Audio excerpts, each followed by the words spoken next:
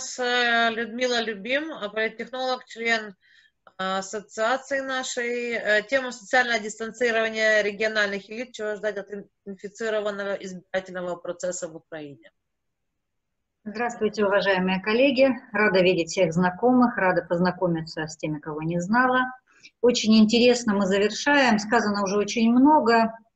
А, в Украине хочу сказать, что вот пока мы с вами обсуждаем э, все эти моменты, нашим коллегам будет интересно, наш замечательный парламент принял конституционным большинством э, законопроект о страховании медиков.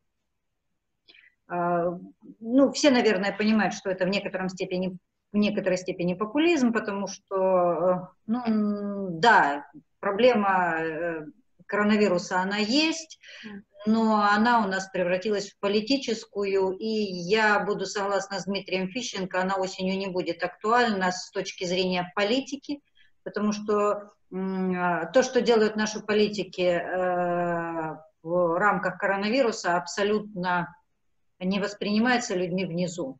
Опять же, он правильно сказал, маски, да, будем носить, а парк пойдем. И, э, собственно говоря, мы наблюдаем это сейчас у нас на территориях. Э, это близко к моей теме, потому что это как раз показывает то самое социальное дистанцирование элит наших политических, а в Украине прошла децентрализация, это тема, которую я, о которой я говорю уже не первый год, ну, с начала этой истории, она мне близка достаточно, я занимаюсь региональной политикой.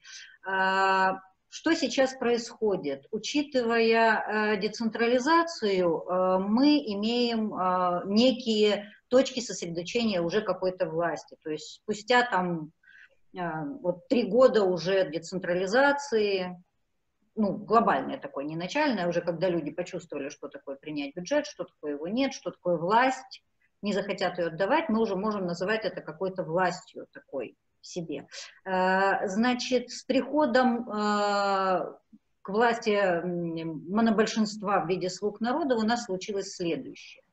У нас рухнула вертикаль власти сверху донизу абсолютно. И учитывая... Когда что... придет, будет возмущаться, что ты там что-нибудь трог. Выключила эту дурочку?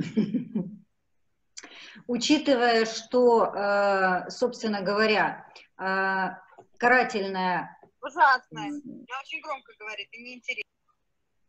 Карательная история.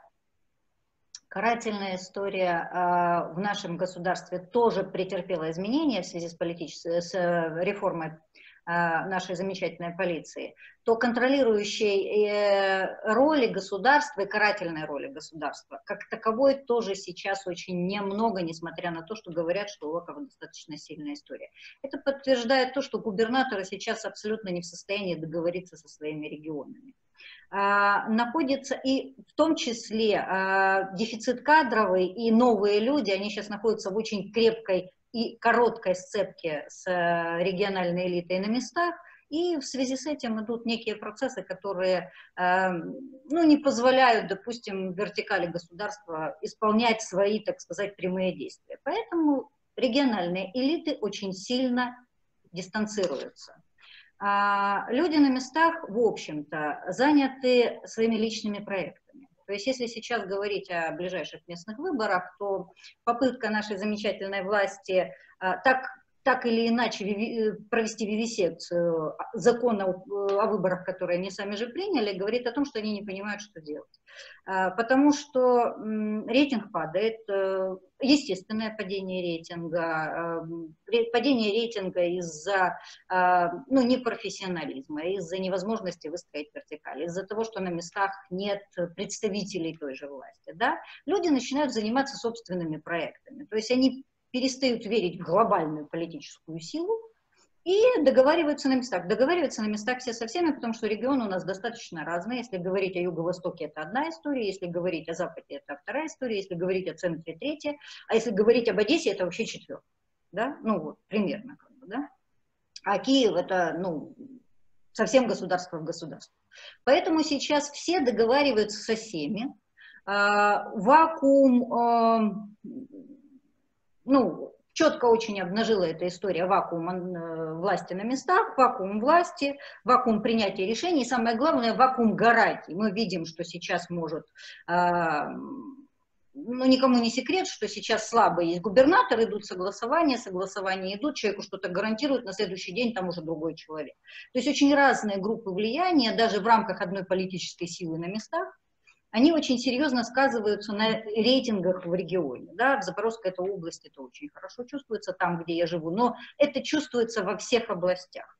Попытка, попытка э, сделать сейчас партию мэров, она замечательная, но мне представляется сложно достаточно реализовать ее на всегосударственном уровне. Это, скорее всего, будет представляться как государственный проект, но реализовываться все-таки будет он в Одессе, в Харькове, в Киеве, в Днепре. Э, попытка будет реализовать его в Запорожье, но вы поймите, мэры как и на коне будут э, на фоне вот коронавируса, они точно так же будут и в минусе, потому что э, на самом деле самое страшное, что мы поимеем от вот этой истории с коронавирусом, это упадок экономики. И мы уже видим страшные дефициты местных э, бюджетов, а учитывая, что местные бюджеты принимали правильные, но все равно популистские решения по там, приостановке уплаты единого налога. Государство приняло приостановку уплаты ЕСВ на время карантина. Да? И вот мы в апреле месяце там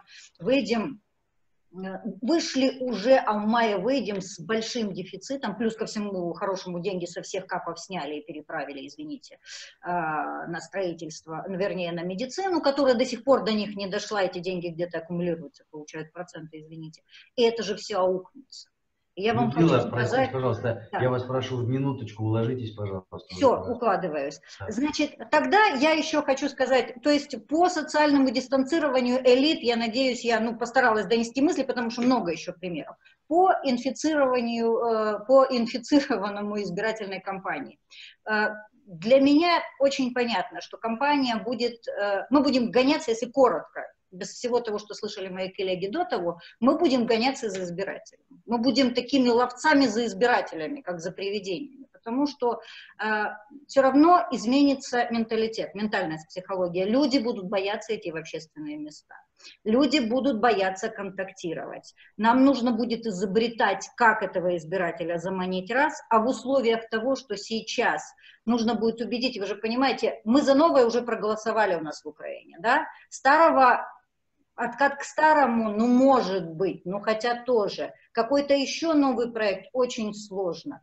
И будет очень много желающих, если сейчас они не, не примут пятипроцентный проходной барьер, а уже явно раз заявил Зеленский, что это невозможно, не примут, но если еще что-нибудь не придумают, то все мелкие партии побегут, а избирателя у нас будет очень мало. И осенью нам еще устроят на фоне общей заболеваемости ГРВИ еще один карантин, в виде которого явка вообще рухнет, и желание людей вообще общаться. А самое страшное, что я вижу, что люди разочарованы своим прошлым выбором, да, они очень возлагали большие надежды на э, эту силу, э, и президент еще не теряет, а сама сила очень сильно теряет, потому что ее как таковой нет, она не представлена на территориях абсолютно.